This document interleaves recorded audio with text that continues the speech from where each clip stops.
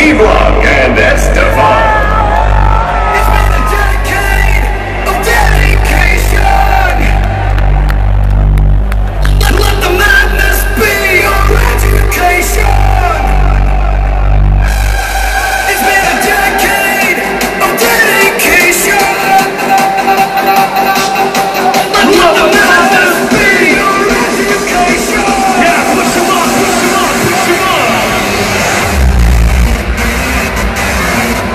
You know what you gotta do right now? It's been a decade.